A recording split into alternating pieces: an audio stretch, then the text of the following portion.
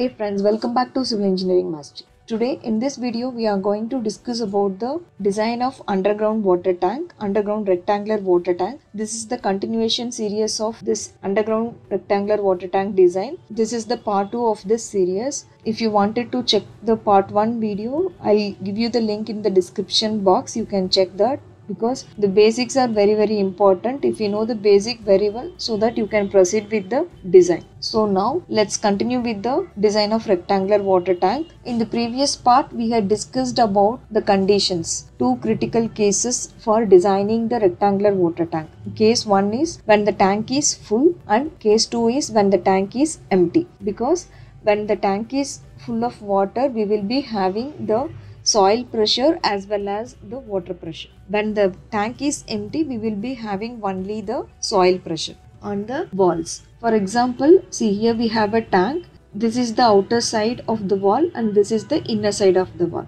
So when the tank is full, we will be getting water pressure and this side we will be getting the soil pressure.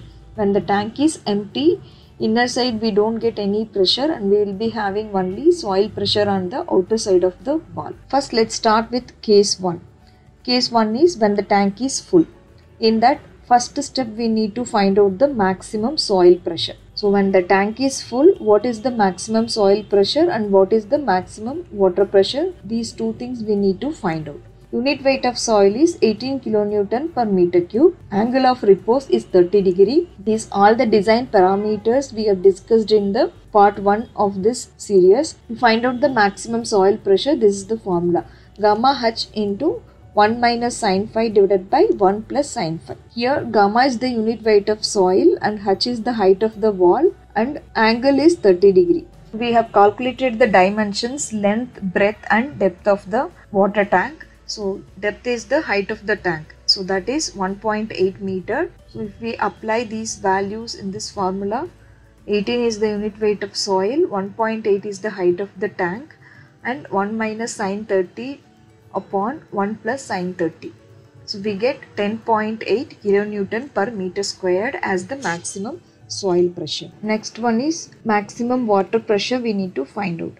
Unit weight of water is 10 kilonewton per meter cube. Height of the tank is 1.8 meter. So to calculate the maximum water pressure, we need to multiply the unit weight of water with the height of the tank. 10 multiplied by 1.8 we get we get 18 kilonewton per meter square. Next we need to find out the net maximum pressure because in case 1 when the tank is full we are calculating the maximum water pressure and maximum soil pressure. If you take this one, we need to find out the maximum pressure, net maximum pressure because this side there will be a soil pressure and this side there will be a water pressure. So to find out the net maximum pressure, we need to deduct the water pressure from the soil pressure. So we get 7.2 kilonewton per meter square as the net maximum pressure. Now we have find out the net maximum pressure that is 7.2 kilonewton per meter square. Now we need to find out the maximum bending moment producing tension away from the water side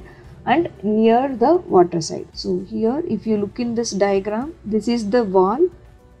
So this is the maximum bending moment producing tension near the water face and this is the maximum bending moment producing tension away from the water face maximum bending moment producing tension away from the water face. So first we are going to find out the tension away from the water face. This is the bending moment. So pH squared divided by 33.5. We know the pressure is this one net maximum pressure 7.2 multiplied by height is 1.8 divided by 33.5. So we get 0.696 kilonewton meter. Next we need to find out the maximum bending moment producing tension near the water face. So for that pH square upon 15. So 7.2 is the pressure and 1.8 is the height. So we can calculate and then we got 1.56 kilonewton meter as the maximum bending moment producing tension near the water face. We have completed case 1. Next case 2 we need to consider the tank is empty. Case 2 is when the tank is empty. First we need to find out the maximum soil pressure.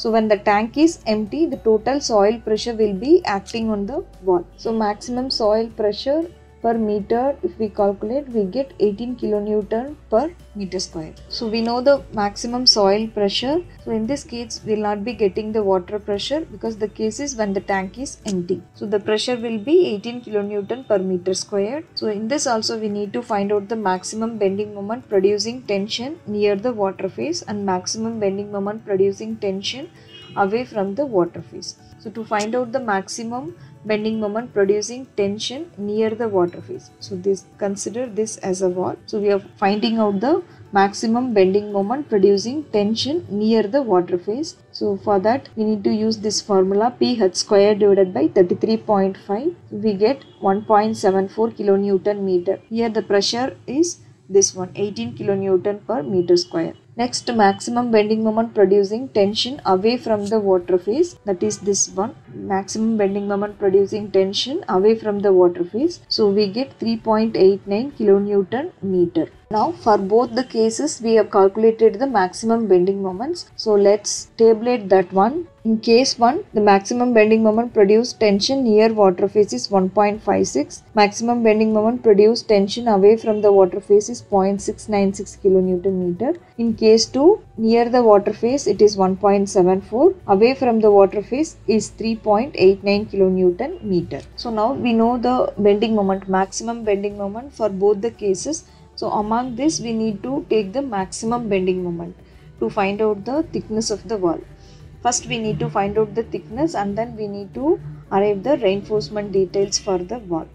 So we are designing the outer walls of an underground water tank. So the tank must also be designed for cracking stress consideration. Since it is a liquid retaining structure, it has to be designed for cracking stress. Cracking stress means the actual tensile stress in concrete due to bending moment. Due to the bending moment, what is the actual tensile stress in concrete is developing so that is called cracking stress. So we need to take the cracking stress for concrete from the IS code. Tensile stress in concrete is 1.7 Newton per millimeter square. So from IS 3370 part 2 table 1 it is given. Let me show you that. In IS 3370 part 2 in table 1 permissible concrete stress in calculations related to resistance to cracking.